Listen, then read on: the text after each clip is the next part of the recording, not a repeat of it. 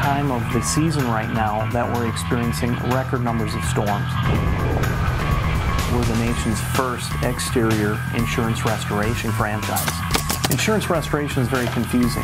What we try to do at StormGuard is, is we try to alleviate the homeowner from the stress of putting the house back together and dealing with their insurance company at the same time. We do that for them. This is a business that appeals to individuals who are like-minded in helping people get their lives back together. When we look back after a season, it's a sense of accomplishment.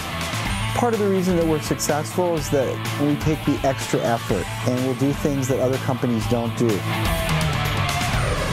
The growth that StormGuard has experienced since 2003 has been pretty phenomenal.